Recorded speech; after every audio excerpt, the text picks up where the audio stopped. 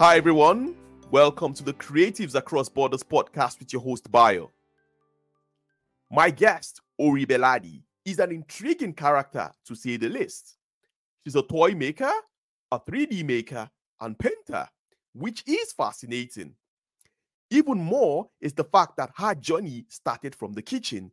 Yes, the kitchen.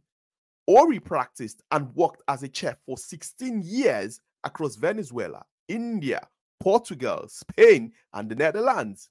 Today, through her persistence, perseverance, and quest for excellence, Ori has found a way to translate her creativity in the kitchen to toy making. In this interview, she walks us through her journey, processes, mentors, projects, struggles, high points, and more. If, like me, you are curious about 3D printing, this is also a very educative interview as she breaks it all down to the basics. I have included chapters so you can navigate to different segments within the interview. Enjoy! Okay, all good. Uh, so, yeah, nice. We're in, yay! Yeah. So good to have you, Ori. Uh, is it Ori or Ori? Yeah, it's, you tell me. I, I like Ori. Mm-hmm. It's it, my full name is Oriana, but I find it to be like too much. So I like Ori. It's my short thing. Like you with your Bayo. It's our thing.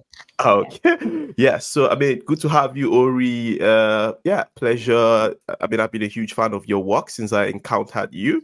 Uh, well, encountered you via your work. So yeah, good to have you.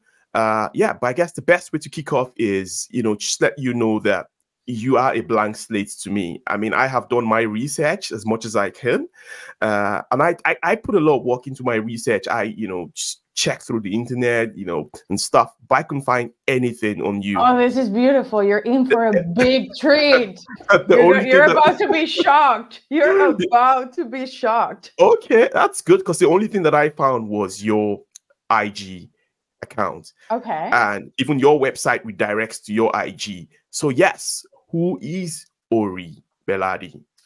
So I think you would have found something with the right keywords because Ori Bellardi, even though I'm a toy maker now, a toy maker in the making, I'm actually a chef. So, bam, yes. If you would have looked like Ori Bellardi chef, then you might have seen something. But yeah, have you heard of imposter syndrome? Yeah, that's me in a nutshell. that's me in a nutshell. Every creative, I think. Yes, yeah. yes, yes. I think I just changed um, creating a dish. When you have to create a dish, I, I like to sit down, think of the ingredients, draw it, try to make it make sense on paper, then reproduce it. So, yeah, I just change one form of art for the other. Hmm. So are you saying that you're a chef in real life? You make I am I, have been a chef for the past 16 years in real life. but I did quit. I did quit. I, oh. I went through a really hardcore mental breakdown. I was on the verge of why am I in this world at this point? Hmm. So I took a step back. It was, you know, it's hard. It's a hard career. It's a really, really hard career. And my last position was as an executive chef. I was the executive chef of a luxury brand hotel in Amsterdam. I won't disclose, but it was a really hardcore job. I liked it and I loved it, but I enjoyed this so much more. Hmm. Yeah. So I left so how- cooking. I left cooking. I ended up here. Yeah. So I mean, I'm trying to understand how did you, how did you come about the intersection then? You know, how did you know, being a chef for 16 years, suddenly cross path with, you know, 2D or 3D art, 3D, I mean, art basically. What happened? I know.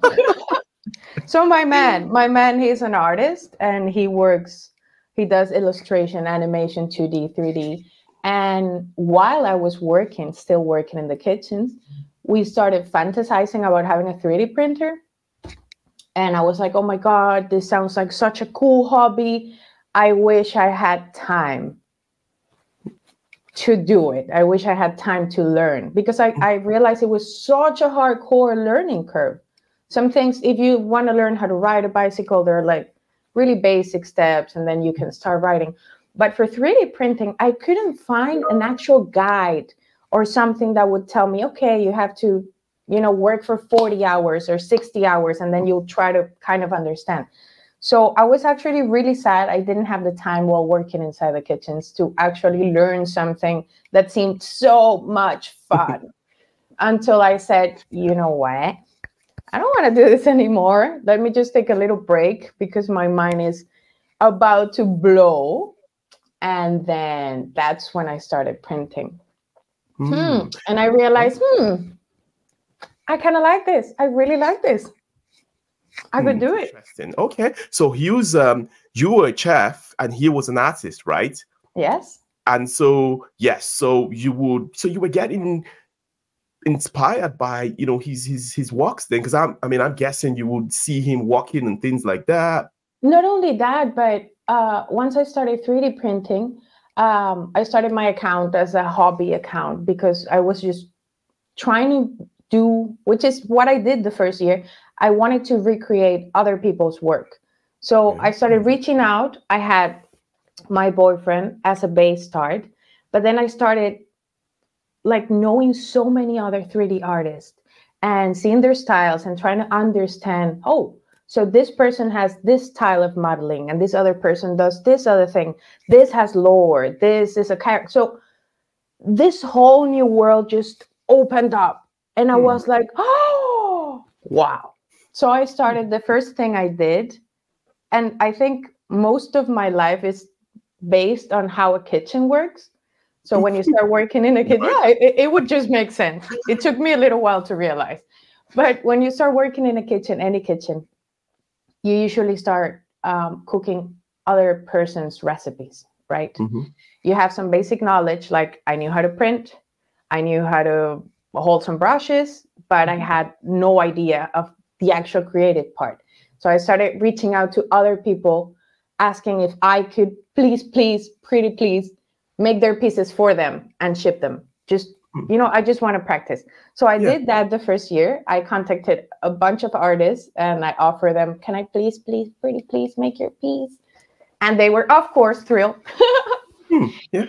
And I would I would find people that will challenge me, maybe um, some kind of a paint job I haven't done before, maybe some really tricky texture I haven't tried in my printer so I would be like, hi, I have seen this character. It has really weird hair, or it has this little tiny details. Can we print this? Can I print it and ship it over? So mm-hmm. yeah, first I started with them, and then when I first got contacted, like the other way around, can you make this piece for me? I was like, hmm. for money? No. okay. Why would you pay? Yes. Hmm. Interesting. So it's interesting that you've gone from uh, well, getting to know you has um crossed path with my next question, what my next question was going to be, which was how you got started. But I think there's still some missing gaps there. So you've talked about painting. I want to understand you know, from the very start. So I know that you were working in the kitchen, but how did you even get into painting in the first place? So you you you mentioned you have a you had a basic knowledge of you know painting. How did you even? I mean, you the... did you study arts at all? In I mean, yeah, this we need to because we need to demystify you. So these mysteries that's the essence of this podcast you know let's get to know, I like yeah I like let's it. get to know how you got started was it a childhood thing for you yeah was was a lot of youtube videos i think i think at this point in life uh that's the most accessible tool we all have for learning anything you want you want to learn programming go to youtube and spend your good 60 70 hours watching videos until you drool at the beginning it was really terrible I have to be honest. But, and again, I, I always have to circle back to the kitchen. Mm-hmm. Um, while being so perfect, such a perfectionist with everything related to the work I give, you know, even if it's chopping onions or painting a piece, um, I gave myself the time. And this is something we as a human species, we don't tend to do that. We don't tend to give ourselves the time we actually need to learn, process, and understand something. So I started painting with a rush. I started painting. I bought a set of 12 paints that were really bad paints. And I hmm. bought 12 brushes from Amazon that cost me, I think it was 15 euro. And I tried and I failed and I kept on trying. And I gave myself the time to actually try to understand what I was getting myself into and rewarding myself for, you know, improving. So, so mm-hmm. how many times do we do something and just don't acknowledge that we are moving forward? Not that we're being perfect. As, as, no, no, no. It takes a long time for that. Even though whatever piece I'm making right now, I make it with so many insecurities around it. I'm like, mm-hmm. no, it has to be perfect. It has to be perfect. So yeah, I started with a really cheap set of paints, a really cheap set of brushes. Then I took the jump and I bought an airbrush, which I knew how to use because I had a little moment in life where I made cakes just for fun. Oh my god. Just for fun. I didn't charge for my cakes. I didn't mm. like charging for them. So I had this friends ordering the most crazy massive cakes. And I was like, dude, I need an airbrush. And this Bayo, I'm talking 10, 12 years back. And I was like, hmm, I could really learn how to use an airbrush. So I had this little airbrush affair that was completely useful at this point in my life. I was like, huh, I know how to use this. I, I know how to use this. Yes, let's get an airbrush. and then one spare room turned into a whole studio. So. Oh wow! Is that yeah. what it is? Oh, is this still is this the same studio then? Yeah, this is my little spot, and it's Ooh. divided by. It's not in the best shape right now. Ah, uh, okay. Well, I, have seen. I, am sure I've seen quite a. Well, not just me, but I think so many of us have seen quite a a lot of that on YouTube. Because oh, I said on YouTube, on IG, you know, your videos, your live and stuff. You know, we're seeing things so it's interesting, though. I mean, that intersection between, you know, your life as a chef, and then uh, we're talking cakes, and we're talking arts. I can't recall ever coming across, you know, that sort of intersection. You know, having spoken with, you know, quite a few people, uh, but it's all good. In terms of your roles, you know, in terms of your work, right? So you are a 3D printer, right? Yes. Or, or is 3D artist, or just because you don't just they, print? They right? call it makers. Mm. But I don't feel like make anything. so I think I think it's too new. I think it's too new and it hasn't been categorized yet. Like people don't know what do you do you do you 3D print? Yeah, I 3D print, but I also paint. But I, so yeah. I would define myself as a prototyper, right? Mm. There, uh, 3D printing has like a huge array of things. You can 3D print really commercial models like Marvel or anything commercial with a license. You can print it, paint it, and sell it. And there's a lot of people doing that, which is beautiful. Uh, but what I enjoy is working with artists and having a big background story for a character. Mm-hmm. I, I might be too much of a sentimental human being. So, yeah, I really like making something that will give somebody total excitement that will make somebody lose their mind. Yeah, I can make an Iron Man and I can paint it, and mm-hmm. I, that's just not you know what you don't like. So I don't mm-hmm. like that. I really enjoy working with artists because being able to transform that thought because it's just a thought and then that thought has to be given to an illustrator and that illustrator is going to put their own thought into that and then there's going to be there's going to come a 3d modeler who's going to have to interpret the artist like the first idea and then whatever the illustrator made those illustrations he's going to have to translate that and then give it to me. Mm-hmm. so i'm like the last man on that on that line. And i love that. I love that. I love that usually it involves so many people to have one piece made. Mm. the the whole collaboration the whole i depend on your illustrations and you depend on my eyesight because you know I, I have six different types of lights in my studio so i really have to interpret those colors. I'm like huh, is this a broken white? What is this? Mm. so yeah. I really enjoy this, that.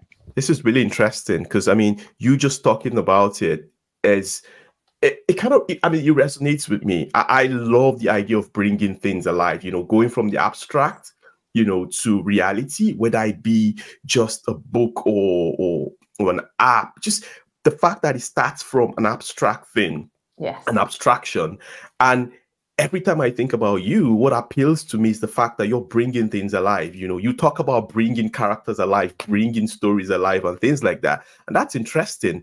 But you also touch on something that, you know, connects with my next question, which is processes, right? You know, what's your process like? Because I mean, we're talking involvement of different people and and and you know and and, and skill sets and yes. resources you know yes, from time yes, to money and stuff so what's a typical process like for you if you were to bring alive my characters which you will do in the near future because we've been talking about this what's that process like so for bringing let's say kute and caroline to life it takes months and that's another beautiful thing people some people have the idea that because there is a machine in between, it's going to be like, oh, there you go, have this printed, painted, ship it over. No, it usually takes months to have a piece already here in the studio about to be painted.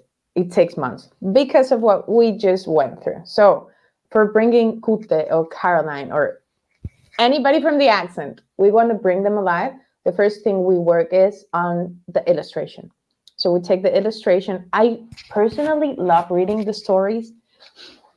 So I love when I have to make a character for a book because you know authors they're usually really excited is their baby is their baby and i love them as if it was my baby as well so they share the story and i get to first i get to know the characters which i love then we have to work with a 3d modeler so there's a big amount of styles to choose from. So what I personally do is if we have an illustration, there are several 3D artists that I work with. I tend to pick three or four that will or might match the same style of the illustration. And once we have picked them, we move forward. So this person develops the 3D model, and then it's my time to make it shine. Hmm. So this this process usually takes about a month, month and a half. The going from illustration to 3D model.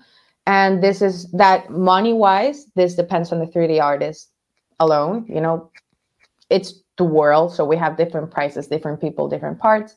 Mm-hmm. Um, and then when it comes to me, it's all about printing, which is not hard ish. It's not that hard. You know, I just have to sit down a couple hours in front of the computer, try to make it as printable as possible these machines they work they work weirdly they work um, they print the pieces hanging from the base so you have to make sure that the plate where you're printing can hold whatever volume this piece has so it's quite interesting to make hmm. it work so after it's printed here comes psychosis hmm. which is me sanding them down to perfection. Printers, yeah, they have a lot of detail, everything comes out so beautiful, but they do have flaws. And sometimes they come out with some printing lines. I had to drill holes in the figure. So, all of that before I put the first coat of primer, all of that has to be sanded down. So, it usually that's one of the things that takes me the longest because I have to be extremely careful that it's ready for paint. If you start painting the piece with the airbrush mm-hmm. and you don't see any type of flaws, you're like, oh, this is going to come out perfect. First coat of paint, all the flaws come out. Mm-hmm. And if if painting is hard, removing the paint is even harder. and I, I have been sitting there. Oh my God, it's terrible because some crevices you just can't reach to remove the paint. So it takes me quite a while to make it perfect. And then the whole painting process. There is um people love taking shortcuts, but acrylic paint really needs to sit down, rest, and grab to the figure. So mm. in between every not layer, but in between every color, I give the piece at least one whole day to rest and dry. And you can, oh, wow. if I had you here, I could we could do the experiment because I have done this quite a few times. We can paint a piece, put it there. We can paint the other one. We're gonna leave one of them to rest for the whole day, and we're gonna keep on working on you know the first one, just another color and another color. Hmm. There is a massive difference. Hmm. Uh, yeah, it's a weird thing, but there is a massive difference. Interesting. So the technicalities here. So um, so I understand the bit, you know, illustration, 3D modeling, and then the first thing you do is you print, and then you do the sanding, right? What's that sanding? Is it like using sandpaper? What, what's that? Because I know yes. sandpaper, but what's sanding? A lot of sandpaper. So mm. I start with a maybe a 400 grit, and I go all the way to 2500 to 3000 because I like polishing in the end. Let me see mm. if I, hmm, yeah, Mm, I don't have any raw resin pieces around me. Oh, but okay. yeah, that like the final the final stage of the sanding, it has to be polishing. Ah, because so we, like... we need the piece to be extremely smooth. You know, when you if you put ink and you you know you start placing your fingertip, it's just like mm-hmm. circle, circle, circle, circle. Mm-hmm. The pieces come out of the printer with that. They come out with fingertips. They look like fingertips, ah, fingerprints. Interesting. Hmm. It doesn't bother everybody. All right. It doesn't bother 95% of the people that I've seen out there that do 3D printed. It, it apparently doesn't bother anybody. And I think that little detail is what makes what I do slightly different than whatever you can find out there. Because I really take the time to my goal is to make that look exactly like the render. I, I and hmm. this is gonna sound silly, but the best compliment I've I've got was, "Oh my god, I thought I was looking at a 3D model," and I was like, "Boom." That's exactly what I was intending. Yeah. I yes. mean, but it shows how much details you put into the whole process. Because again, it's I, so I before we had before we got before before today, right? I would talk to people and be like, oh, yeah, I'm, I'm having Ori next, and be like, and be like, and be like, they'll be like, who is Ori? And I'll just open up my you know my my instagram and show them the videos because i am fascinated by them. And and it's and it's the same thing from everyone that i've shown. They will literally just spend the next few minutes just watching the videos you know? It so you're some scrolling there. Yeah i mean so you're taking people through your process and we're seeing the details. So even when you mentioned to me that it takes months i'm like yeah i can understand why it would take months because she's literally soaking everything in. Yes. You know? Yes yeah. yes. And you know you know what's beautiful? Um after every every piece because you know we're communicating it's months of communicating. We start talking like i have this idea but within two months we're going to be sitting down sipping coffee like yeah i don't know if we should put that color there at all. So by the end of it once you get the piece and this has happened a lot once you get the piece I'm here in my house sitting down crying, watching you open the box. And you're on the other side crying as well, like, oh my God, I can't believe I have this. Hmm. And that's the summit of the yeah. all the effort, all the effort. That's boom. The yeah. moment I can see an artist holding down their baby, mm-hmm. I'm done. I'm done. That's when I consider my job to be done. And I, hmm. I've heard this ideas, these characters, even if it's a book, a video game, whatever their background story is, they always have such a personal attachment. They're like, yeah, I have this character, but this character came, I had this experience when I was a child, or I had this partner, or this happened to me. And I get to know those stories firsthand. So, really, you're going to think I'm crazy by you but I sit down and I make these pieces and I'm so aware of what they actually mean to somebody. Hmm. That is just wow. I get really, really involved. I try not to take on too many pieces because I feel it's a little unpersonal. I feel like I don't connect that much and I really love connecting with pieces. So when I take commissions, I try to work on two pieces at a time or one piece and then I'll work on the other piece because I really want to focus all of my attention. My studio, mm-hmm. uh, it it becomes their studio. So mm. in my in my paints where I have my paints, it's only those colors that I'm using. They're all going to be down. And I know exactly which shades, which colors. Like it's their studio. For three weeks, for one month, it becomes their studio. And I swear, this is so much fun. When I finish packing and they go out the door, I come back in the studio. I make an iced coffee and then I start picking out. And the fun part is when I have to pick up the paint mm-hmm. because I always think, when am I gonna see this combination down here again? And it's mm. like that that little train of thoughts. I'm like, huh, when is this blue gonna mix with this other one again? Or when am mm. I gonna? Yeah, yeah, yeah. I really love the pieces, man.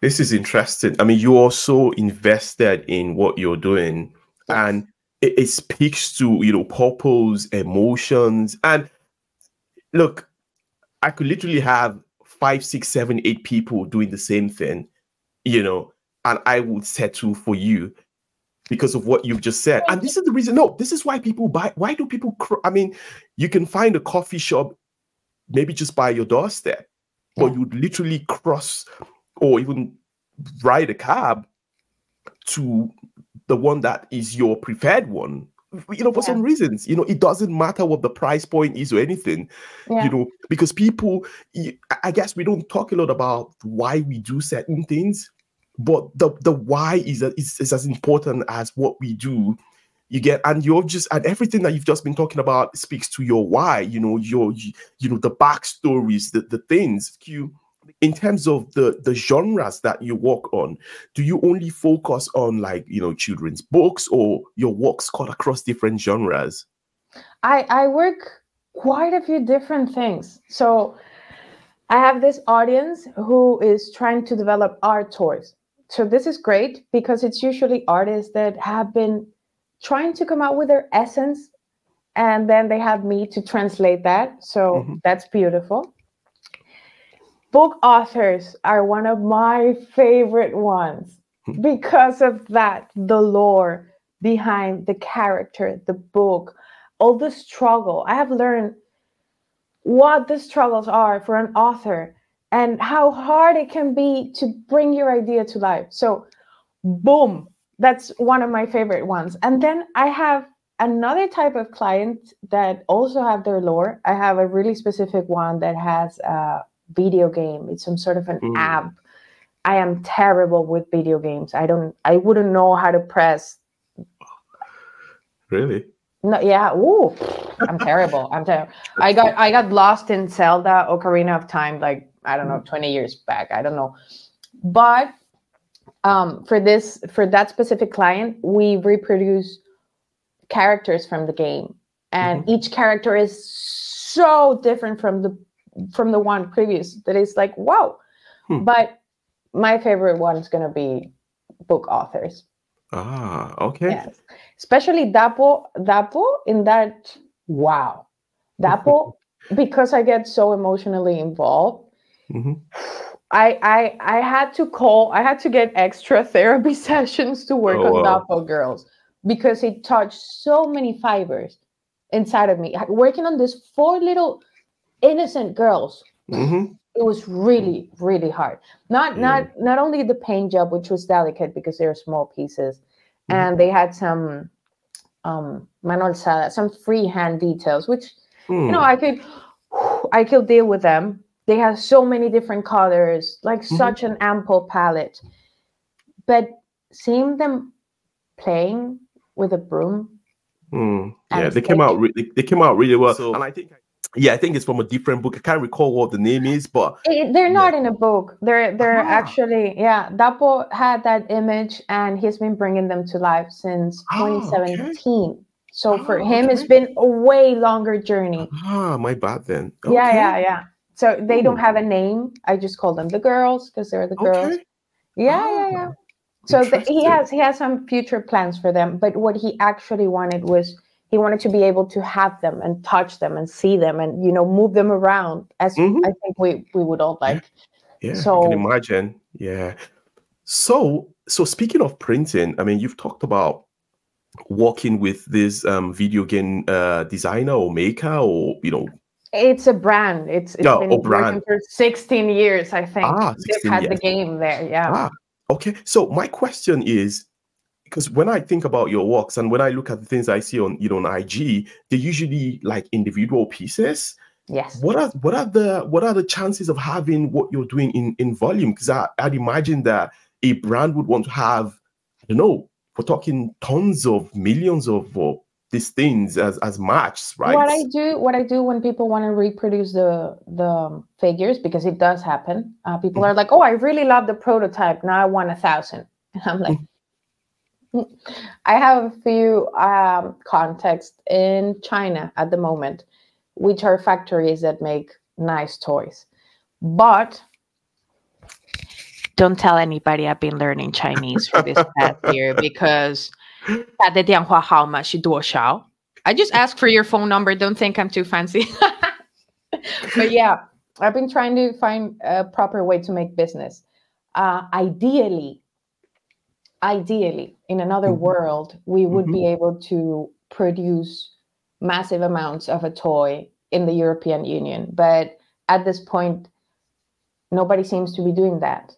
Mm-hmm. Not as well made as we wanted. Because I, I've been every time somebody says, I want to have a thousand of these, or I would like to have a hundred of these, and I go to Chinese the Chinese suppliers, yeah, I get good quotes, but you cannot supervise the actual attention to detail that they have there because you're you're not there. Yeah, they're not you also. exactly. And you have to wait until this huge box that you had to pay extra taxes comes to your house so you realize that that line was not mm-hmm. painted and you're like mm, mm. so i'm i'm actually trying to work on a way to make it here i don't do reproductions i i don't have the space the material or the time because i will feel it too it, um it's not personal anymore you'll be like yeah. okay let me paint this let me and just for the sake of money i wouldn't do it mm. but maybe in the next year hmm. I think I, I, I project it that way. Maybe in the next year we will mm-hmm. be able to have some sort of a factory here. Okay. There are big, big printing machines that we could bring over, and you know, having maybe a small team of people painting the pieces and mm-hmm. having really good quality control. I think I think Europe needs that. It, it's just I see everybody just going across and flying and getting their orders in China. And it's such a lengthy process. You have to, you send your idea to China, they send you a quote, then you pay for that quote, then they send you a prototype that you have to correct. I've seen people, too many people showing their prototype, like, yeah, mm-hmm. huh, but this is mm-hmm. not the right color so you mm. have to blindly trust that they will correct everything you said and then that they're going to ship those thousands of euros back to you in perfect condition. So I really mm. think we need something in Europe that you could actually visit.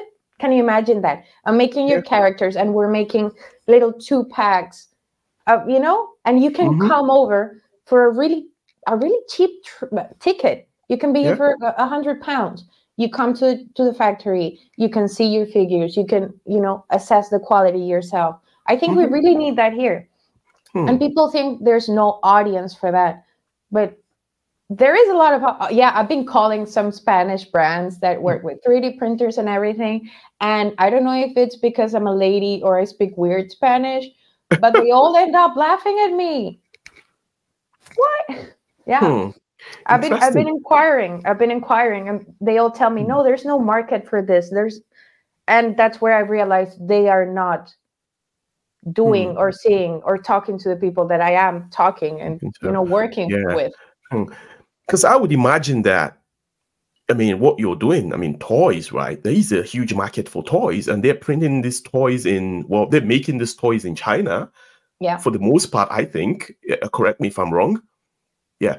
But my, I have a question. I'm going to walk back uh, to to the question I asked about processes earlier. I mean, because we talked about the personnel involved. I think the missing piece again, uh, one missing piece that we didn't touch on was, you know, tools.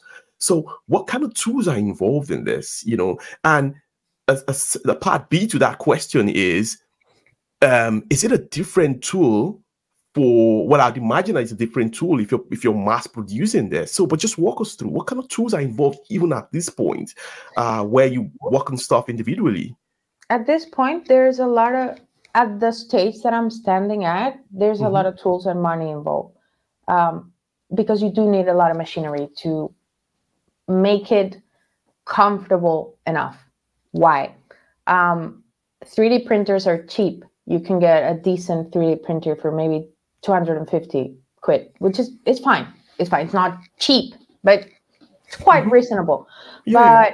to operate that machine, you need to, or I would encourage you to, you need to get a washing machine, which works with isopropylic alcohol. Isopropyl? I don't know.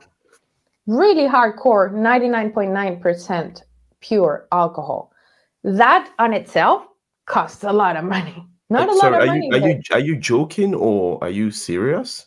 Yes, I work with gas masks and nitrile gloves. I have to wear a really special apron and special shoes to walk into my printer's room. It is extremely toxic. Okay, wait, hold on. So okay, so hold on. So 3D printer washing machine and then you need a curing machine. Why? Because this resin is she reacts to light, a really specific wave of light, which is 405. Um, UV light, not all UV lights are the same. So this mm-hmm. one works on 405. And after you wash them really good with alcohol and try to remove all the excess resin, you have to cure them. Depending on the size of the piece and the wall thickness, a few factors, you have to cure them for a few minutes. And then it comes the sanding. Funny enough, the pieces are printed empty. You know because the the printer you cannot stress it enough. Okay go. Ori, hold on. So again again there, there, are many people like me out there who understand jack which is nothing about some of these terminologies. So you print an item using i don't know they have it, it, has its own sort of materials i suppose threads and i don't know uh, it's a it's a liquid. It's a beautiful liquid Okay, so is that the liquid that is toxic? Yes, the gas ah. that the liquid produces once it's it heats up a little, ah. because ah. yeah. So let's imagine we have a little tub, okay, a recipient, a tub.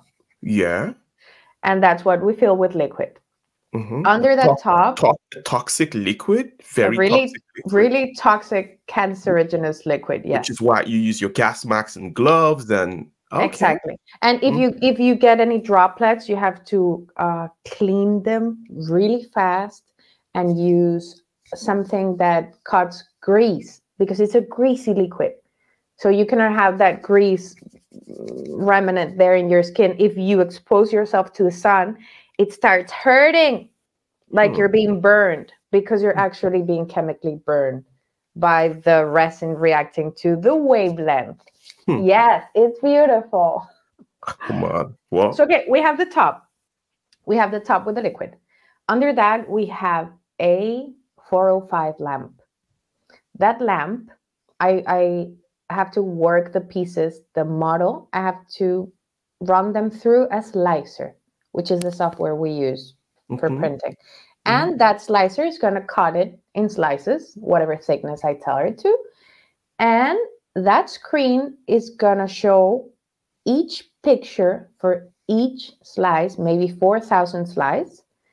And each time that light, there is a platform mm-hmm. in the tub that's helping solidify that single picture. Ah, okay. Layer after layer after layer. So hmm. yeah, it's usually between 2,000 to 5,000 layers. It depends on the hmm. model. And that will give the printing hours. Yeah, I was going to ask you how long that process will take, uh, normally takes rather.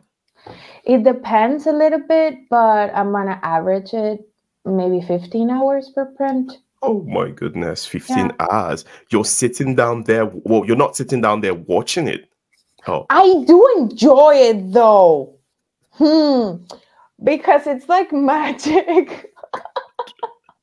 you do oh have oh to watch God. the machine. At least the first five minutes, you have to watch it because you know, when you're in an airplane, takeoff and landing, those are Mhm. crucial. It happens like that. The takeoff of the machine is kind of crucial. Uh, Mm. It has a really thin, plasticky, papery thing.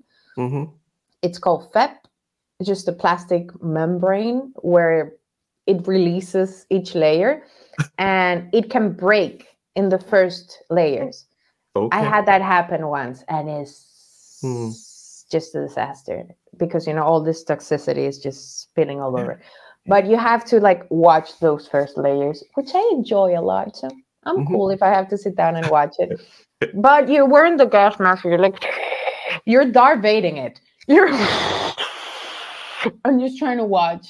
It's Hmm. it's fun. I really enjoy it. Wow, interesting. I was going to say, so ideally, this podcast run for runs for forty to forty-five minutes. We've spent almost forty-five minutes just walking through your process, and I'm enjoying it. But I mean, okay, yeah, man, I don't even know where to start from because it's it- like it's a whole lot. This is this is 3D printing 101 in a sense, and, and I can imagine it will be the same thing for the, for most people listening to it. But it's fun anyway. So uh 15 hours on the average printing out and then it goes into the washing machine it goes into the washing machine you it has a tumble situation happening Mhm. it washes as best as it can then you toss it in the curing machine you don't Okay. necessarily have to have a curing or a washing machine you can have a Mhm. little tupperware with alcohol and just submerge and shake Mhm. shake shake i have done Mhm. that and then Mhm. you can cure them in the sun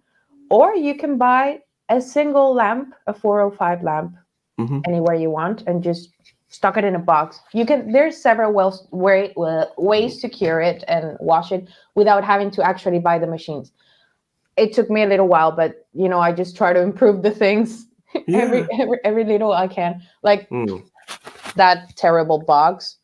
That's, yeah, uh, that- with a it looks like a lamp Exhaust. the yeah it's an it looks exhaust. So I can I can paint with the airbrush and it just sucks out all the um is it that white is it that white one behind you with Oh, the okay. tube. So it has a Yeah. extraction fan ah, so okay. So the pieces come out really smooth when you're Mhm. painting without it and there's no breeze Mhm. the airbrush will you know spit the paint and then it Mm. will create a little cloud that cloud will have a little particle and that particle will come down and sit Okay. on the piece So here's the thing, right? Well, I have about God knows 10 questions here that I haven't even gone through because we're just going off script. But this is interesting because I have always, I mean, the exciting bit about this for me is just letting the conversation dictate, you know, itself, you know, by way of flow. And and I feel like we've sort of captured a few things in between. But I mean, hopefully we can have a part two sometime in the future. But here's the definitely. thing. But there's certain questions that I still have to ask. So and these are not even in my script. So health wise, have you had any health scare? Oh, when I started printing, I didn't know it was so toxic. Okay.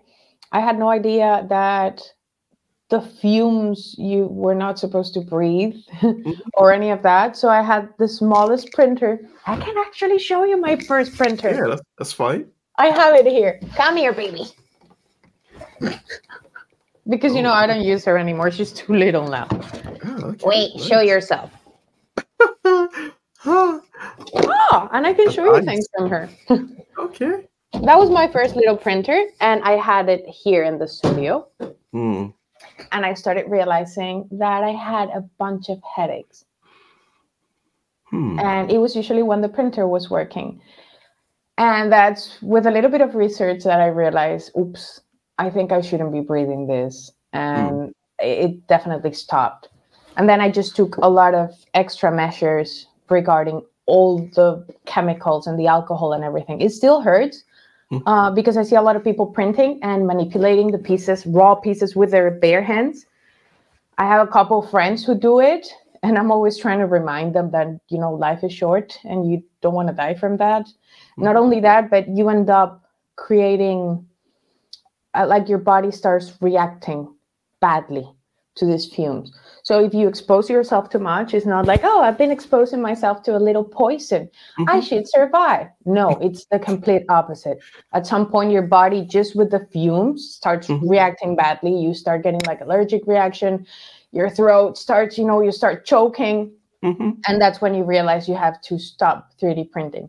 I know two people that had to quit, sell their printers, just quit what they were doing because they were getting allergic reactions to the resin.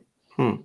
Uh, do you think that things will get better? Because I I remember uh, the one of the last videos that I watched was you with demoing or showing us this new baby that you have. I shouldn't call it a printer. the, I, the, yes. Yeah. So is it is it from your experience doing this and and how many years now?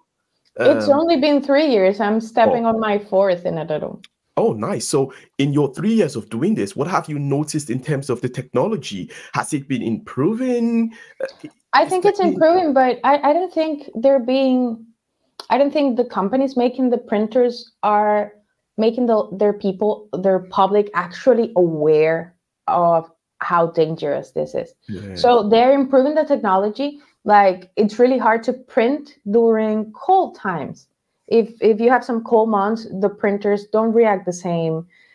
They have their thing. So mm-hmm. what they're doing that now a lot is that they're adding heaters to the machines. They are making machines print faster. So instead of 15 hours you could have that same piece in four which it all sounds beautiful because the technology seems to be advancing. But mm-hmm. i don't see how they're trying to protect their user you know some some this last this last beautiful green baby i got mm-hmm. um they do I, I was shocked and i think I, I said it in in my stories.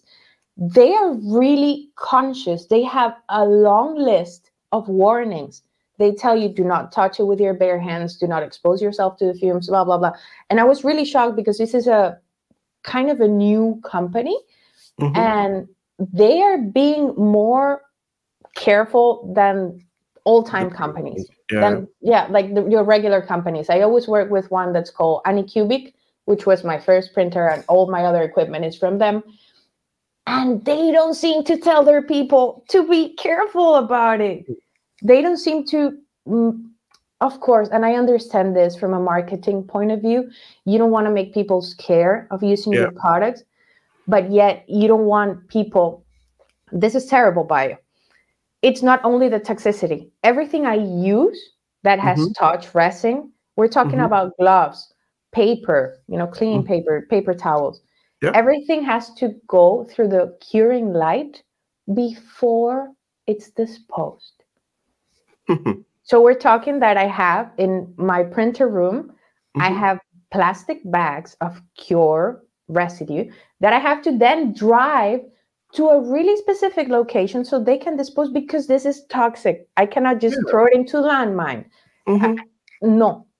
But yet you see people taking their prints and washing them under running water hmm. in a sink. This is like because they don't know any better, right? You could just get a bunch of Clorox and drink it. That, that it will be yeah. easier for you. Don't do this. Not only that, what you're doing to yourself what you're harming the way this harms water and there's been there's a study about this especially it's been conducted in the united states mm-hmm. they are checking since the proliferation of 3d printers resin 3d printers they have been um, checking the residue water quality because mm-hmm. you know it's residue water they they expect certain things to be found in that water but now mm-hmm. they're finding these chemicals that are not supposed to be in that water. And mm. yeah, it's really toxic and it's really hard to remove them from the water once they're there. And so, this is because people are disposing of these things illegally? Yeah.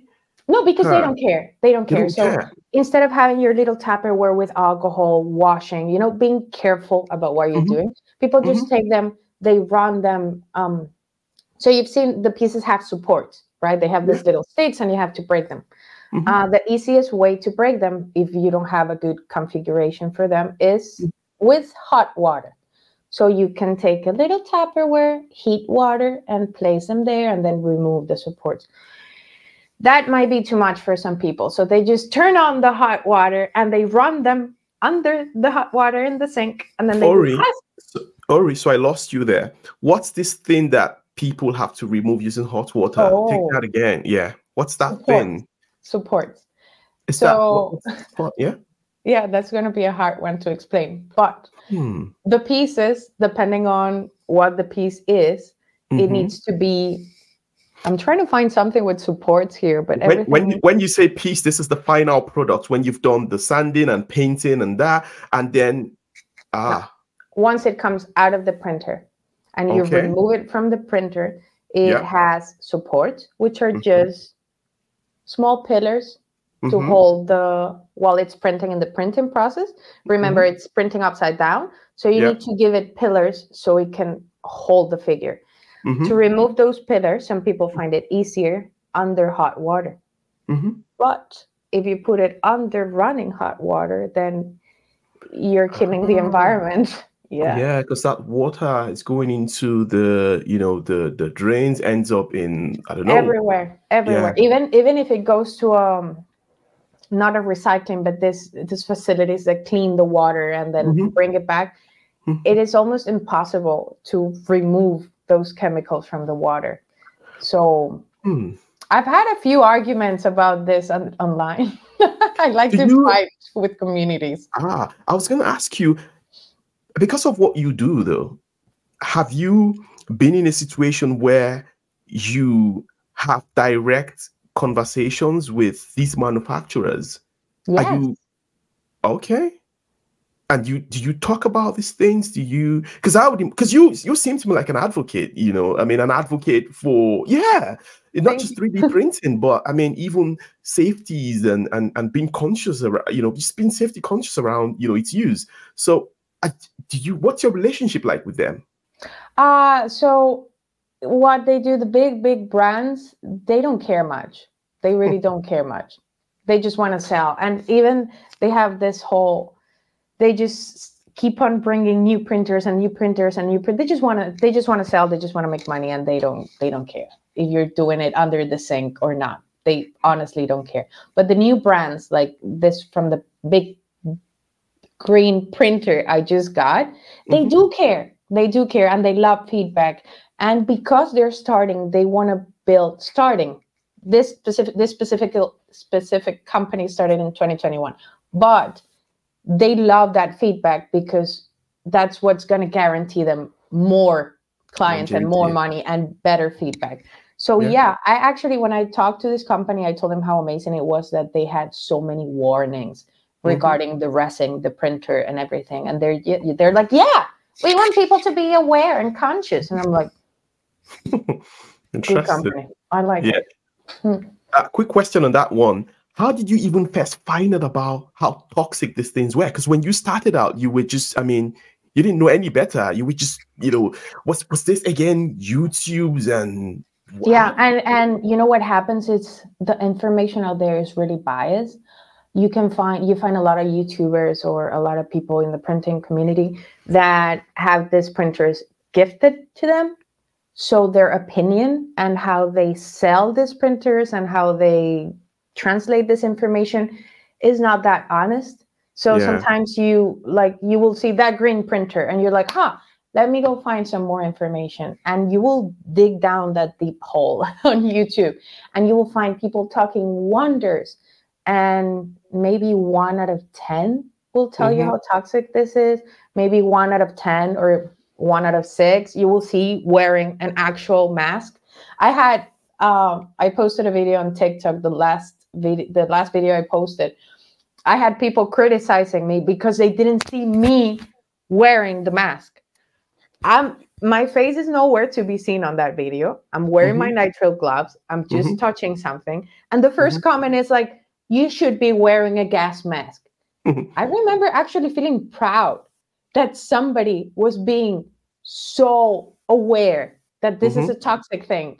And I'm like, yes, my man, not only a gas mask, remember to wear nitrile gloves. If you wear latex, it gets melted by the resin. It's really disgusting, by the way. Hmm. So yeah, yeah, it's it's fun. I actually have a little video that I'm editing right now, and it's me like stop, beware. If you're using this machine, remember to wear, you know, Hmm. face protection. And yeah, So in terms of cost, um, Ori, we're not just talking a 250 quid printer here. We're talking gloves. We're talking electricity. T- tell me about electricity.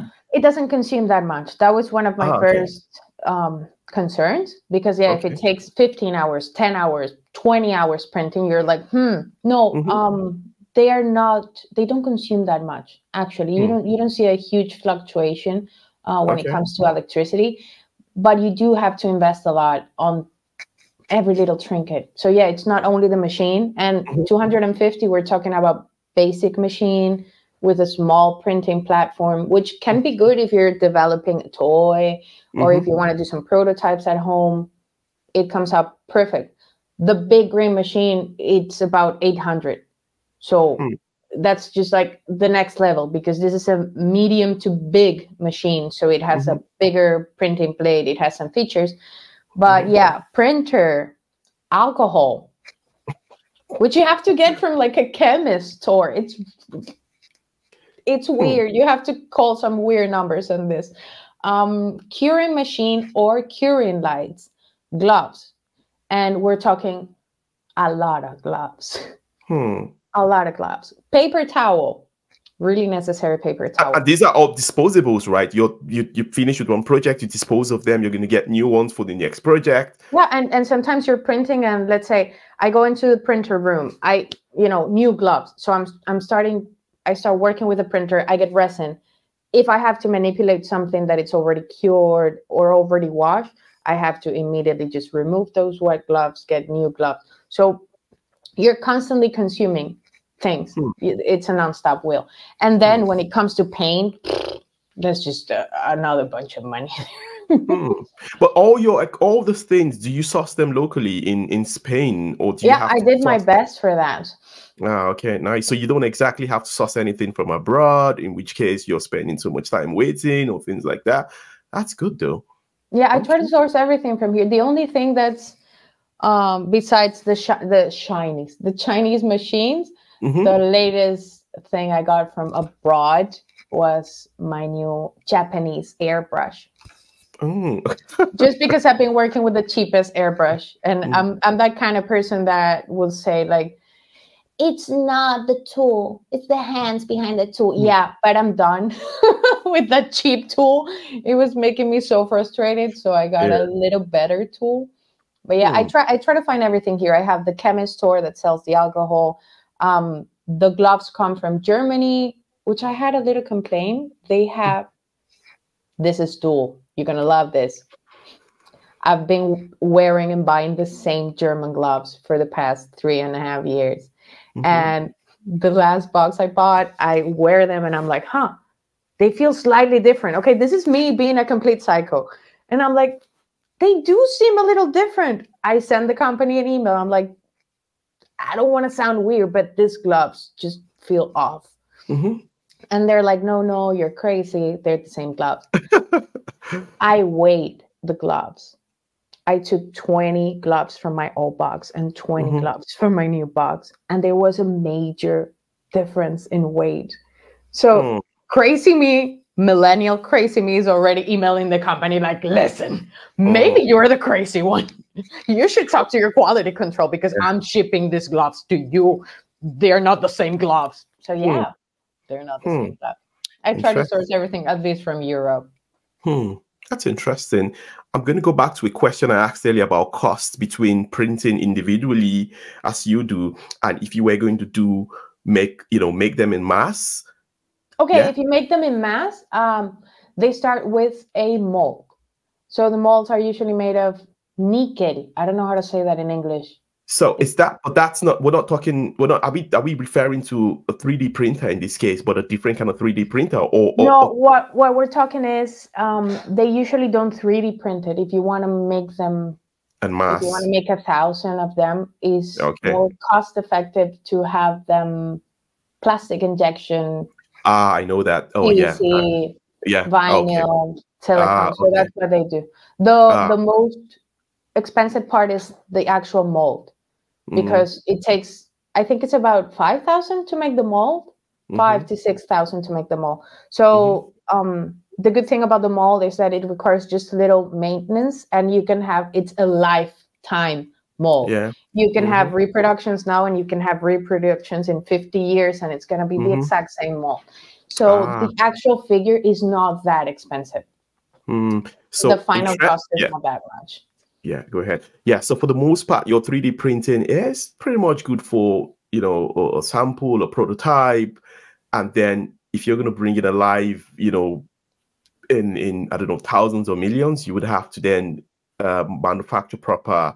Which That's how the Chinese work. But I'm I'm with you. I really like the 3D printing part, and that's what my imaginary factory would aim because they are so many different materials. I use a resin that's not extremely tough, not too flexible, but it will hold the figure. But there's some resins, the better, the most expensive. You can buy resins for 200, 300 a liter, just Hmm. one liter. It's 300 euros. So I think personally that 3D printing has way more detail than um, plastic injection. So Can you do one million? Can you do one million prints with 3D printing though? if you have that if you have a yes man if you have a printer large printers are one meter Mhm. times one meter times one meter if you have a how 10 about- centimeter figure how many can Yeah. you take in one time like a hundred of them Ah, because I was also going to look. I was go, I was also going to mention the lifetime value of that um, printer itself. You know, because that would have. I mean, it would have its own uh, lifespan, if I may use that word. In which case, oh, it can only do this much before it breaks down or something, or, or not, none of that counts.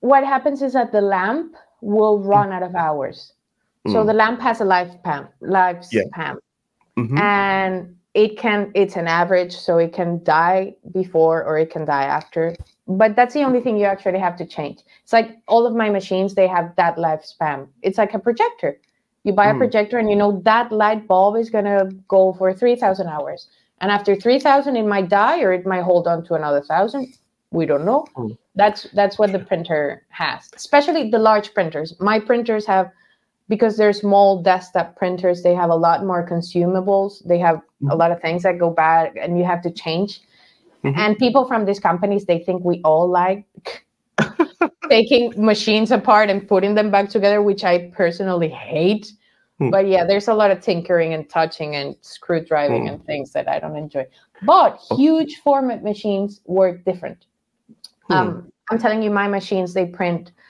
with the figures hanging right Mhm. these massive machines Mhm. SLA machines, they work down. They they don't hang the figure. They build the figure from the ground up. Up. They it's really weird. It's really weird. And this technology, at this moment, as we speak right now, uh, they only have one machine in Europe and Hmm. is standing in Germany. And they are not using it for this. They just have like that display machine, and you know they it's a factory thing. Blah blah Yeah. blah. The Hmm. fact is that these printers they have such massive sizes. You can print a full size human in one Hmm. of these printers. You can print. What? Oh, I want to print an an alien, and you take a 180 alien out of a massive printer. They Hmm. have What's- huge capabilities. what's the typical size like you know because it, it's hard to imagine when i see them in your videos if you can you show us a few characters and what, what's the typical what's the I average don't I don't have like many characters here, Uh, but what- everybody you- wants a different size. oh yeah so what big can it be as big as my you done I can uh, I have something I have something you will recognize. I haven't Hmm. painted them, but but, but, but, Hmm. but, but I have this little girl here. let's see This is only ah, I think she's 13 centimeters. this is from this is from dark balls right Yeah, this is Dark Naples baby. yeah that's not She is 10, not bad 10 That's not bad. centimeters. Yeah, she's really That's small. Yeah, because the reason why I asked is I was thinking about my characters and I was like, hmm, when they come alive, are they going to be this small or this? No, which size? This all depends on you. Which Hmm, size would you like to? Okay, but Ah. on as a contrast, Mhm. I have Nico, which was one of my latest babies. Uh, Hmm. This is Nico's body, and this is Nico's body next to the girl. So Nico, just his body. Nico was um, 25 centimeters standing. Just the body is 14. Nice. So yeah. wow, this is amazing. Like in my like I cannot I'm telling you this, like in my head, I already see my characters sitting on my shelf and my daughter just playing with them. Here's what I'm gonna do, Ori. What? 'Cause we because we can sit down here all day and I will Four more days. I will literally just keep recording and enjoying this. I will rush through a few questions that I have just to make sure that we keep things in balance. But yeah, so first thing for me is uh oh my god. What what would you consider your big break? Have you had any big breaks, you know, and, and can you just pick a few high profile ones or How come? I I, I have um I have been contacted in a project that's ongoing that I cannot speak about. Understandably And- so? It it made me realize, it made me understand or see myself more as an artist. As I told you at the beginning, if you know imposter syndrome, this is me. That's me. Just so many years being a chef, it's really hard to come to an understanding that so many other artists are acknowledging what you do as art. So Mhm. I got contacted by this huge thing and they have a huge project. And the fact that they talk to me as you the artist what can you do about this? And i'm like i only know onions and potatoes. You're putting a lot of pressure on me. So wow. That no and working with so many people like Dapo, for instance but you take people like chris chatterton which is the father of this bear. Mhm. the fact that somebody like chris context you know makes that first hey can we talk about a character? For me you don't know how big it feels. You, the fact that sometimes i'm working here i'm having a bad day because we're humans and we all have bad days terrible Mhm. days. And sometimes and i remember this i recall this happening exactly working with nico.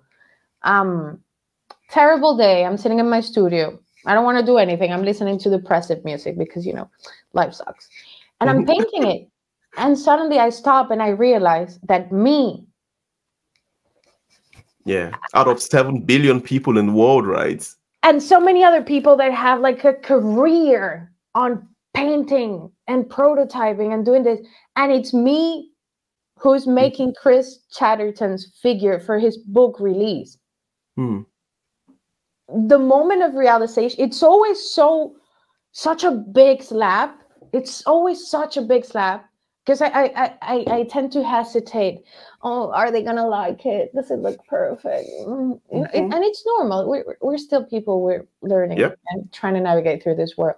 But every time I stop and think about it, hmm it's like a slap in my face. I swear. That's I, amazing. I always I, and I jump on my boyfriend sometimes because I'm I'm talking about anything and I will stop and do you know who's working for Chris Chatterton right now? and he'd be like, You girl? And I'm like, Yeah. Interesting. Uh, that's good to hear. How about so? What are your influences? You know, uh, what would you consider your influences in terms of? I Oh, your follow great artists. I follow great artists, which I think is a hmm. This is a Spanish thing. I haven't had to say this in English ever. It's a sword or a knife with it's a blade with double. Does it make sense in English? In Spanish, we have the saying that something sometimes it's like a knife with Mhm. being sharpened by both sides. Okay. Double is- ed- double-edged sword. Does that make sense? something like that the the thing is that i follow people and i get inspired by people that i consider to be so big so big hmm that sometimes i find myself comparing what i do to what they do so Mhm. that's bad i try to see them just as inspiration and i really want to reach their point. one of my favorite people is gabriel soares he's from Mm. brazil so he Okay. can mais ou menos talk Uh, to you Gabriel Interesting. he's a 3D artist and he started printing in his house. And how he makes his toys, how he interprets the character, how he paints. wow. Mm. Wow. So, so this is a guy, huge artist. He worked with Netflix. He has like, wow, this is a person that you will. so mm-hmm. I sent him a message like a year ago or something. And I'm like, I admire your work so much that just by watching it, I could die. I love what you do. Fast forward to now, we're working on releasing a collab in the next few months. So it's like so many hmm. adorable people doing this. Frank Montano is another one of my reference. Um, he has taken Star Wars, which is a whole universe on its own, and he made it himself. Like he he made it his he designed it in such a way that you can see any of the characters in that shape and you're like that's frank montano. Hmm. and that guy has such sharp lines and such steady pulse. I could watch him paint for hours. I look at his like you were telling me that if you scroll you can spend a few minutes.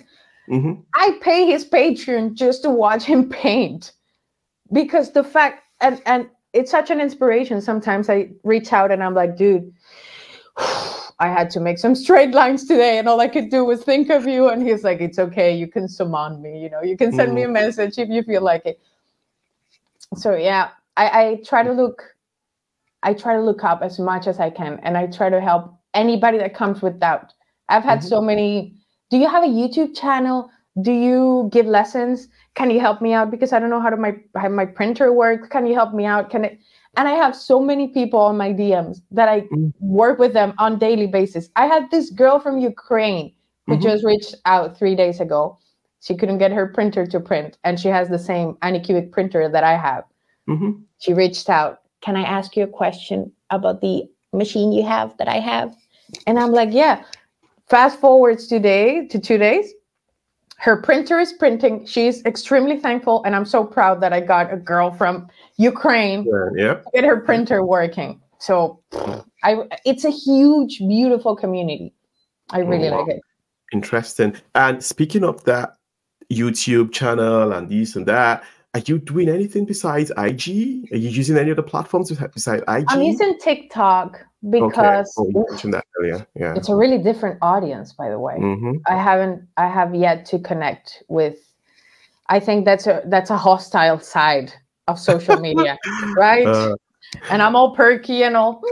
Mm. So I hmm. really enjoy my my Instagram audience because mm-hmm. they're on the same line. I feel we're all okay. on the same line. But TikTok, mm-hmm. that's a savage jungle. I mm. post and I, I, I I run away from it. I throw mm. a video and I close the app and I close everything and I'm like, I don't want to know. I don't want to know. why is that? Why, why, is that? No no engagement or you know? I don't like the audience there. It's savage. Ah, okay. uh, they are really rude. Hmm, if I post something on Instagram, people are like, "Oh, that's a lovely thing." I post yeah. it on TikTok and they're like, "Why do you speak funny?" And I'm like, "I don't know." Why are you talking like that? I had a mm-hmm. guy insulting me because I'm originally from Venezuela. Okay. Okay. So um, I said it's not even a curse word. I said something that's vaina. Vaina means in Spanish, especially in Venezuela, means anything. Mm-hmm. This is a vaina. This is a vaina. Anything you, everything can be a vaina. So I'm I'm doing the voiceover on the video, and I say, the the the vaina this guy sends me a message and saying, when does Latin American girls are gonna learn how to properly talk? And I'm like, interesting. What's your issue? What, yeah, what, taking life seriously. You, so yeah, people. I mean, people are. Yeah, people can be. People can be crazy online though, because people are angry. I think you know people, people are yeah. frustrated. I, yeah, that's what I asked. I said, I, I don't want to engage in any type of issue. Are you okay? Mm. Are you having any? Do you want to talk? Like, why is this triggering? You should get therapy. wow. Now that you touched on Venezuela, because again, yeah, these didn't come up earlier in terms of your background, right? But originally from Venezuela, talk us through that transition. Did you move from Venezuela when you were young? How did you? You're gonna like this. Oh, this okay. is gonna get for a second part. Yeah. Okay. Mm. So, I was born in Venezuela. Mm-hmm. Uh, grew up there. Left at 20, I think. Yeah, uh, left at 20. I had just graduated as a chef. I had my first job as a chef, and then I moved to Spain. While being in Spain, my first year in Spain, I didn't like it that much. Mhm. I found them to be a little hostile, so I left. Oh wow. yeah, I went to Portugal and Mhm. I opened two restaurants in Portugal. So I worked there for maybe close to two years. That's why I speak some Portuguese. And then I fell in love and I came back to Spain Hmm. because why not? But then in Spain, I worked for a few years and I was like, "Mm, I'm not liking this. So I moved to India because that's a good thing about being a chef. You can, everybody's going to eat. If they can access food and you make it and they can pay, it's a good business. So I moved to India for quite a while as well. And then I moved back to Spain. And Hmm. while being in Spain, I worked for another while. And then I ended up moving to the Netherlands. Mhm. So after some time in the Netherlands, I moved here again. So here I am. Okay, interesting. So, wow, man, there is Small a lot. globetrotter. There, there is a lot to you, Ori. I'm just trying to connect the dots now. So, Venezuela. You say Spain, Portugal, did Spain. Did you say you started your restaurant? You so you started one from scratch? I I opened the restaurants for the so what usually happens in the restaurant business is that the person with the money has Mhm. usually no idea how the business works.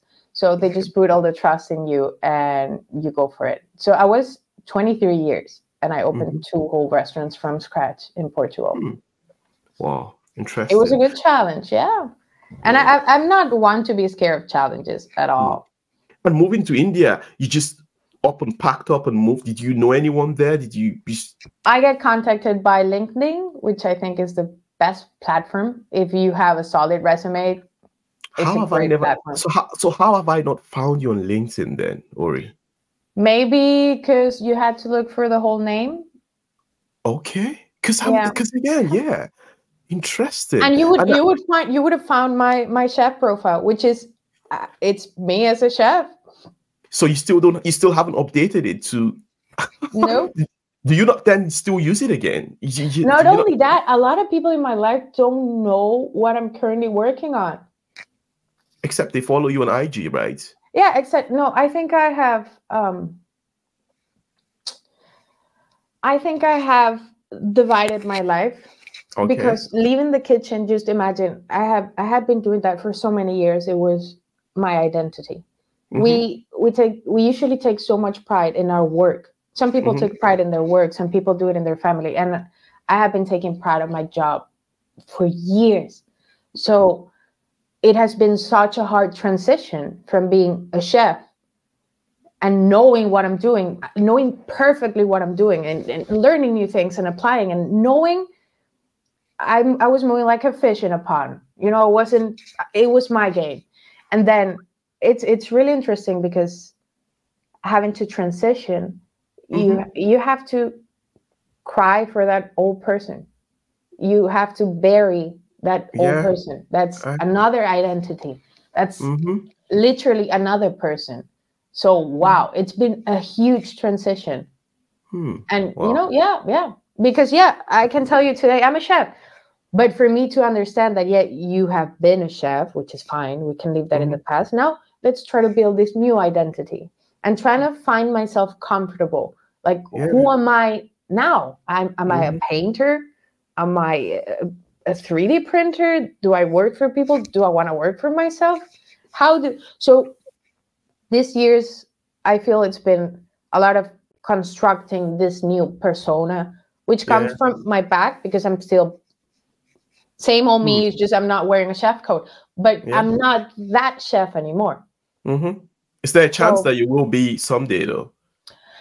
I have been called and I've been doing some really cool things when it Mm. comes to cooking. I had to make the biggest one I had to make was Thanksgiving dinner for a private club in Madrid. So it was like 120 people, and they called me about two weeks before. Hmm. Did you say Mali? come?" Did you say Mali. Mali? No, no, Oh. I wish. Madrid. Oh, okay. oh, Madrid. Okay, yeah, yeah, yeah. Uh, don't mind. This is my yeah. That's the English pronunciation, right? Madrid, right?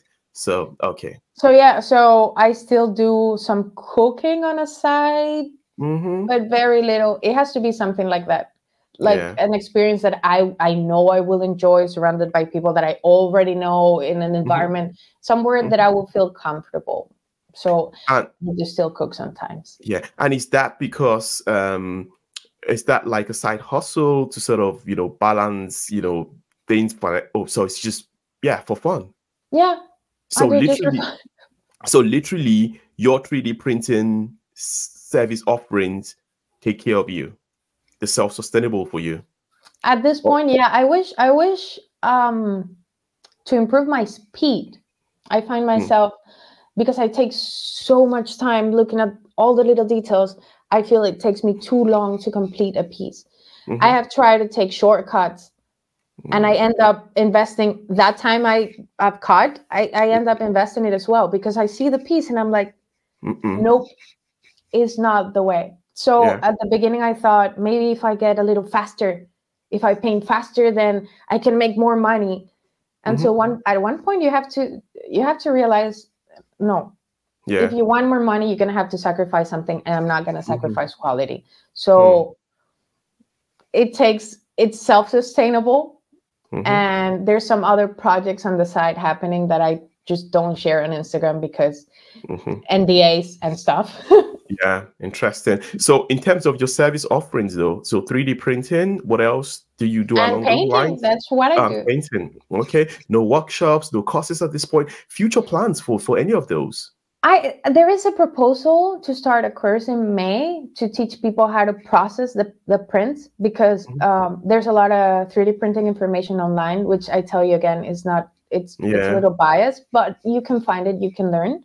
Mhm. Um, there's not a clear line to follow though. Mhm. So if you if you're learning Spanish, you know you have to learn this first and that, and so for 3D printing is you just sit there with a bag Hmm. looking at the monitor and just you you try to grab everything they throw at you and then you look at it and you try to organize it Mhm. out of ignorance right because you don't know anything about this so you're like Yep. What does Hmm. this even mean so I, Hmm.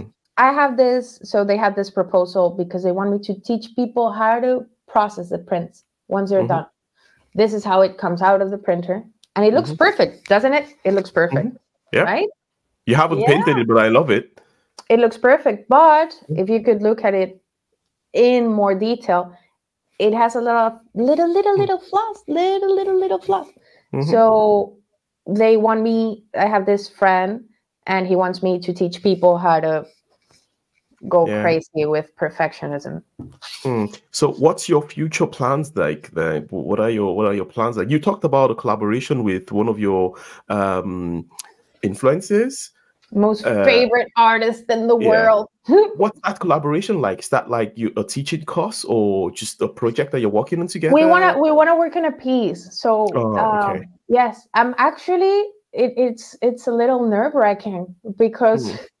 for this man to think that i actually have the capabilities of doing something along his line of work it's Mhm. already wow Hmm. so we've been talking about it and i always tell him i like to add little things maybe one little bulb or some sort of circuit or something or have some motion so we're still in developing phase but the Oh. most exciting thing that's happening right now is a an upcoming kickstarter campaign. Hmm. i've been That working for me. it's ah, mine. It's mine. Yeah so i've been working on this crazy idea with my boyfriend. Um Mm-hmm. it's been an issue you know when you go to kickstarter you have to have your cost really narrowed down. You really need to know what's going to cost even to ship it how much taxes you're going to have to pay Mhm. and i have contacted maybe five or six providers and none of them is willing to make the piece for me Hmm. not even to give me a price. They just look at the piece and they're like, yeah, it's impossible.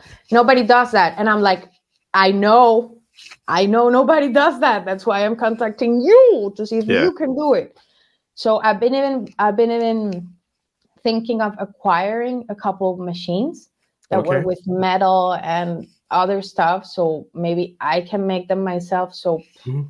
it's a big Mhm. stretch. I'm so people people going with their campaigns on Kickstarter, praise them. It's Mm. such a hard job. We've Mhm. been we've been working on for on this for over a year now. Oh wow.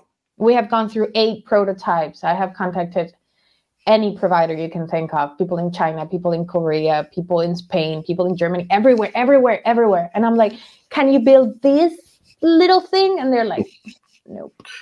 You're cray Wow. cray. Hmm. Know, Interesting. cray cray. Hmm. It's all good though. Yeah. So that's your future plans. Well, and it's happening yeah in the near future because you've been working on it for some time now. Um, in terms of affiliations, do you have any?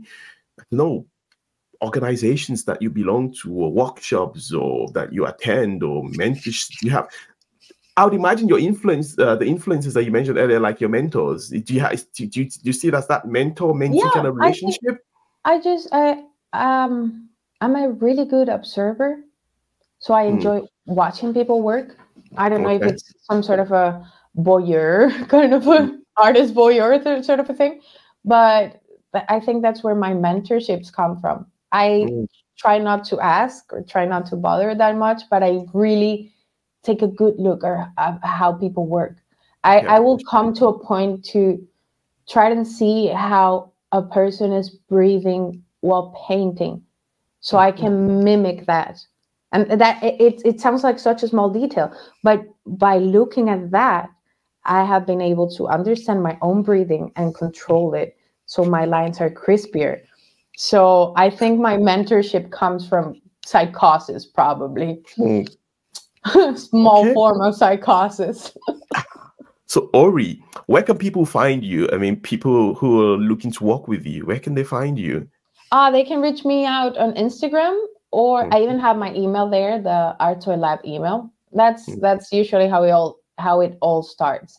If I Mm. do start uh, coming out with some lessons, or maybe I'll find another, I'll give another ways to contact me, or you can come knock on my door. I do live quite far from people, Ah. so hmm, Okay, interesting. Yeah. Yeah. So so IG is the primary uh uh way to reach you, and and in terms of your even in terms of your own outreach, it's it's still IG, right? I mean, all the people who have contacted you, you know, whether it be you know your the people you look up to, who who, who you're going to be working with, they found you via IG, right? Correct Yeah, me if I'm yeah. wrong. I've had a couple people uh, popping from TikTok Mhm. saying, "Oh my God, I saw this post and it was going wild, and I found you, so I trace you back here." And I'm like, "Oh, thank Yeah. you." Yeah. Um, I got a message from a huge brand, Mhm. and they contact me through Instagram uh, with a really, uh, really anonymous kind of a profile. So, and that was fun for me. it was why, like, would, why would they hi- why would they hide your your true image? I though? think I think maybe they thought this is like if you're renting a place to have a party and you say it's a party, they will charge you X. and if you say it's a wedding, they will charge you X plus. So I think Yeah. it was around that line. Maybe if I Mm. had known or they thought if I had known which brand it was, I would have gone crazy Ah, with- because I could have gone crazy with the prices. Mhm. I wouldn't like I that's not the point. I'd rather for me it's already an honor Mhm. if I get the deal, which i it's still pending, I should get a response tomorrow. If I do get the deal, I will be completely mind blown. If I don't, I Mm-hmm. am already mind blown enough that Mhm. these people knocked on my door and thought of me for making what they have in mind. Mhm. So I'm already honored. So here's Your the thing, right? Yeah. So here's something that just crossed my mind because I know we had talked about your potential availability being April or May for my characters. So if you get this mind blowing, well, amongst other mind blowing projects that you've worked on and still working on, um, if you get that positive response tomorrow, which I hope you will get, what does that then? What's the impact of that on projects like mine and and, and potentially other people who are waiting on the queue yes for you? yeah so i have i have a couple of people on the queue right now and i'm waiting for this email to see if i can clear them for may i'm already late like late May to start with new pieces. And I have a couple bookings for June already.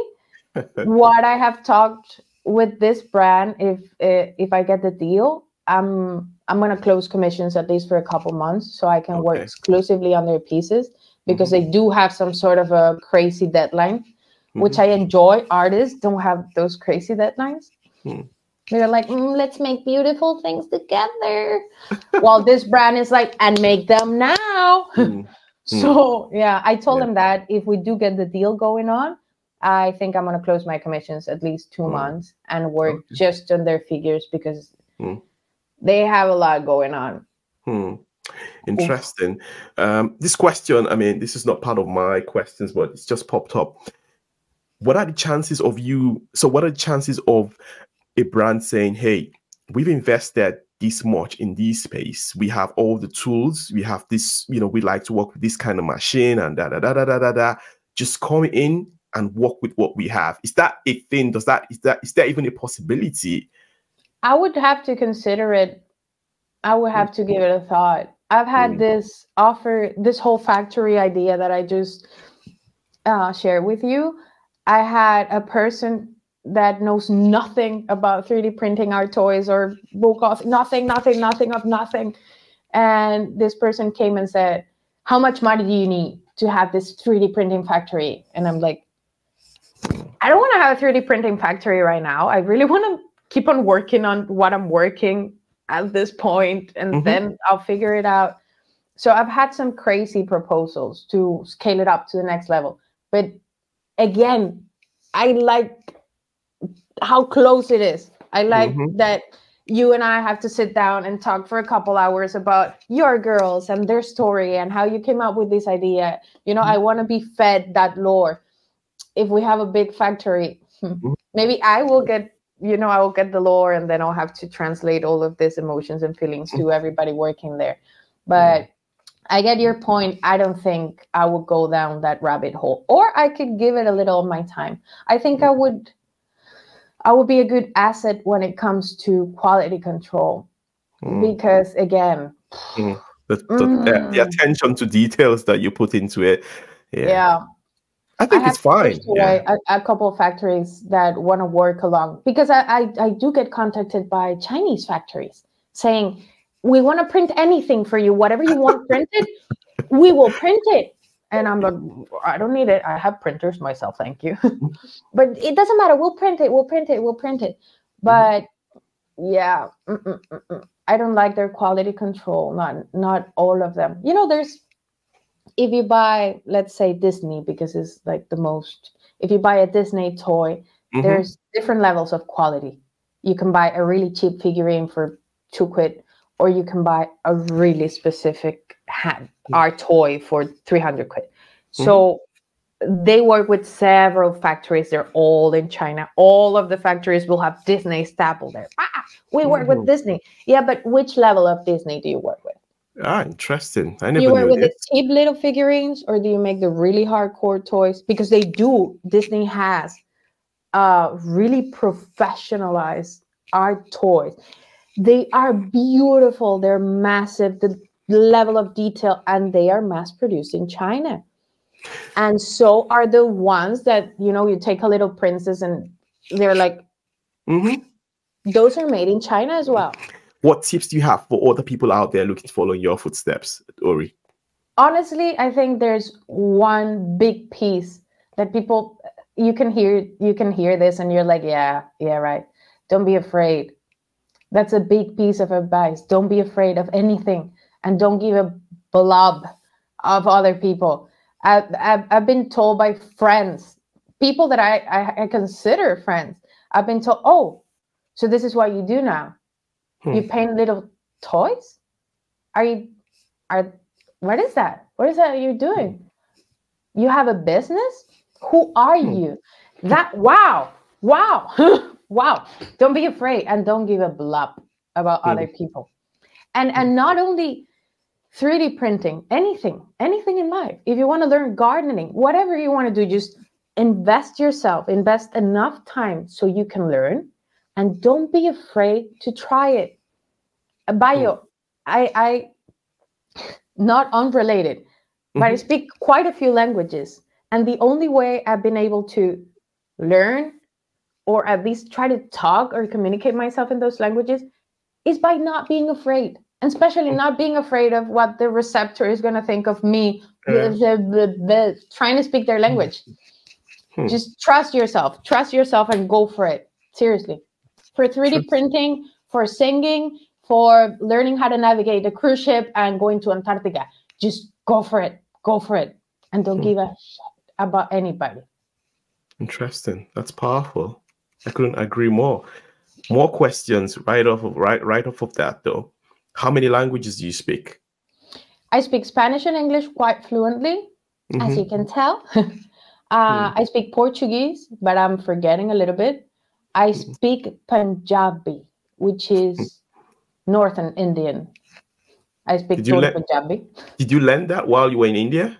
Yes, it was quite difficult, and yes, mm. but I did learn in- how to communicate, so that was cool. Okay, English was where? school or? Um, I think I was born into English. My mom, she she was an English teacher, but mm-hmm. she never, you know, if your dad is a math teacher, he's not gonna come home and teach you math. Period. yeah. So my mom is not like she came home and started teaching me, but she did this thing which I loved.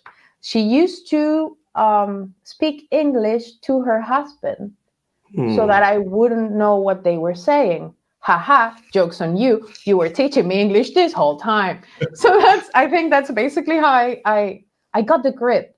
You need to you know you need to get the grip of listening yeah. and then just traveling traveling and mm. not being afraid and not not being afraid of committing mistakes and saying things that maybe mm-hmm. didn't make sense reading a lot so mm. english spanish some portuguese some punjabi some French. I do tend to forget it though. And you're learning and, Chinese now, right? And now Chinese, yes. Mm. Which is so much fun. I love it. I love Chinese. I love it. I have one of these uh, Chinese factories. I have one of the one of their commercials. And you know, we are constantly talking because we have this big project that might happen or not. So we're in constant communication. and I told her that I was learning Chinese. And you know, if she could send me some songs because that mm-hmm. helps a lot.